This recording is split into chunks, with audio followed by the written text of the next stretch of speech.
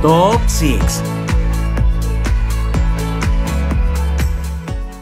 Joaquín Bondoni confiesa cómo surgió la química que tuvo con Emilio Osorio. Hola, les comento que el joven artista Joaquín Bondoni está ascendiendo rápidamente a la fama. Sin embargo, no olvida sus inicios y recuerda con mucho cariño todo lo que le dejó su participación en Mi marido tiene más familia y Juntos el corazón nunca se equivoca. Recientemente, el actor dio una entrevista donde habló de cómo nació la conexión que tuvo con Emilio Osorio y y cómo reaccionó cuando se enteró de que fue elegido para interpretar a su personaje Temo López. Joaquín Bondoni contó cómo se preparó junto a Emilio Osorio para dar vida a Aristemo, una de las parejas más exitosas y famosas de la televisión mexicana. Debido a la increíble relación que mostraron delante y fuera de las cámaras, se llegó a especular de que entre los jóvenes existía cierta química especial, por lo que Joaquín comentó, recuerdo que empezábamos con los talleres.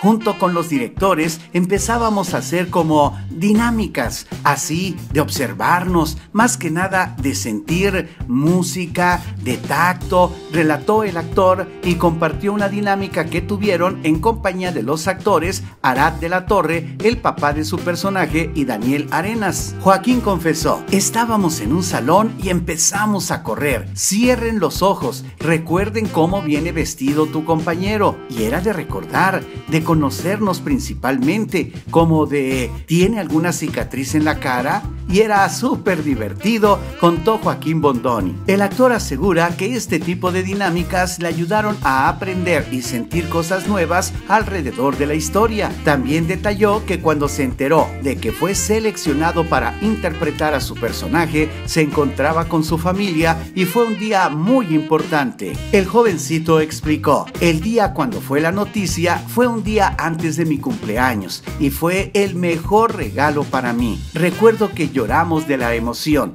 nos volteamos a ver entre todos y dijimos, es un reto, es un reto del que vamos a salir adelante y más que nada un trabajo en equipo, familiar, porque mi madre, mi abuela, mi hermana, mi perrita, todo fue un trabajo en equipo, relató la estrella juvenil con evidente emoción. Al ser cuestionado sobre si esperaba el impacto que tuvo su actuación y cómo maneja la fama, Joaquín respondió, realmente hago lo que me gusta, yo soy feliz y agradezco a Dios de hacer lo que me gusta y soy feliz con eso. Ha sido el arte que es lo mágico. Joaquín afirmó que el hecho de que la telenovela fuera transmitida en televisión abierta fue aún más desafiante. Él comentó, fue un acto de mucha valentía, mucha disciplina, mucho esfuerzo, un trabajo en equipo, el estudiar bien las cosas, principalmente sintiéndolo el corazón nunca se equivoca, realmente es hacerlo con el corazón,